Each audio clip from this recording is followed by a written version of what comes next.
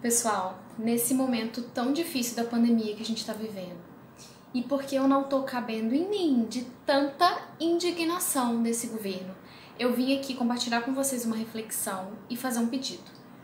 Eu vou falar de política, mas por favor assistam até o final. Eu prometo, é importante.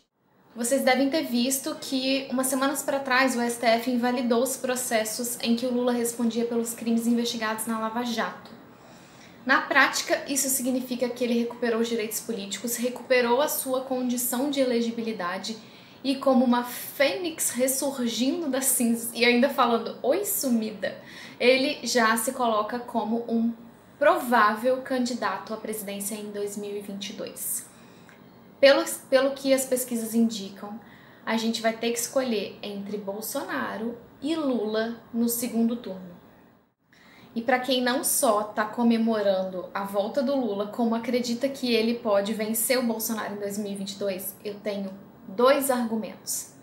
Não duvidem da capacidade do brasileiro em escolher errado, de votar errado, e nem da propensão do Bolsonaro em não aceitar uma derrota utilizando inclusive algo próximo de um golpe com apoio dos militares. Eu vou até deixar aqui no final uma, um áudio de uma dessas lives bizarríssimas que ele faz às quintas-feiras, que ele deixa um recadinho bem claro pra gente.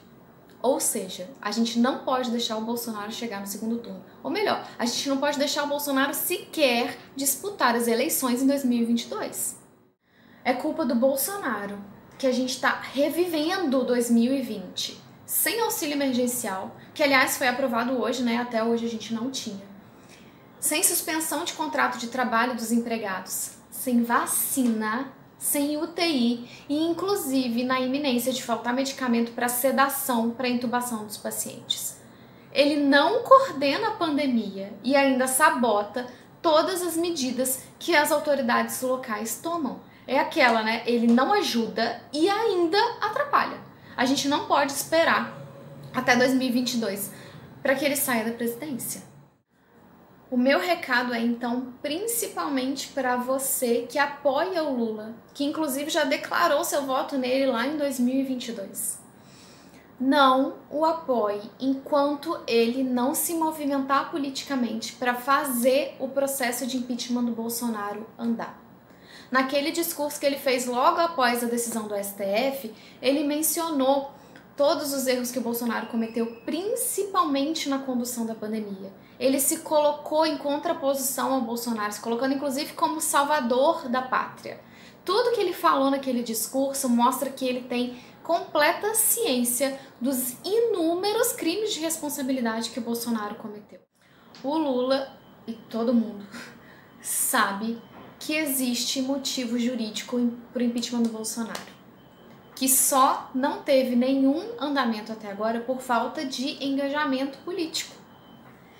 Se ele não se colocar favoravelmente ao impeachment, ele vai estar sendo incoerente com o discurso que ele fez, desleal com os eleitores e injusto com o Brasil. O que a gente não pode aceitar é que o Lula faça todo esse discurso na teoria, mas que na prática acabe escolhendo deixar o Bolsonaro ali, continuando a fazer as coisas erradas que ele faz, para que a reprovação dele aumente mais ainda, para que ele perca apoio e assim seja um candidato mais fácil de ser derrotado lá em 2022. A gente precisa de ajuda agora e não de candidato surfando na reprovação do oponente para ganhar as eleições mais fácil. O meu recado para vocês, então, é o seguinte: a minha reflexão é essa. Não apoie candidato que não se colocar favoravelmente ao impeachment do Bolsonaro agora. Esse é o pré-requisito para o próximo presidente em 2022.